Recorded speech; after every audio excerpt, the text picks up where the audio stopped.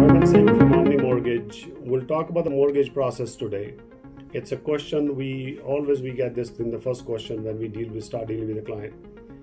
I found the house. What will be the my process? How long it'll take, and will I get the loan or not?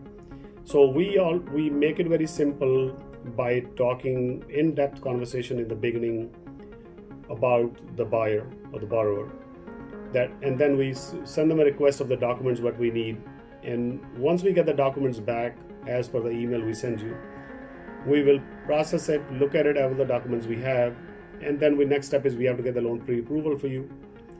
We in that process will might run the credit also, and because to see if his credit is okay.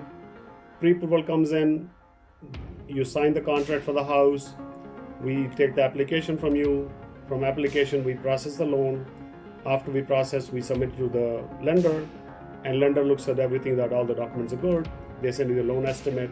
You look at the loan estimate you happy you comfortable that you you got what we promised you. You, you give us intent to proceed. The lender goes ahead and orders the appraisal. Appraisal report comes back goes back to the underwriting. Underwriting gives us approval. We get approval with sometimes they ask you a couple of conditions we give them a conditions back and once we submit the condition we get a clear to close from the underwriter once we get a clear to close we call your attorney Attorney has to do the title work, make sure there's no liens, there's no violations on the property, and once the title is clear, file goes to the closing department.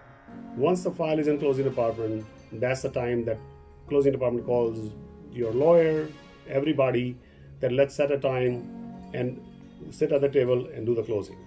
That is the time you accomplish your dream of owning a house in America. So, any further question you have of the process, feel free to call me. I'll we're very happy to sit with you and explain you in a detailed process.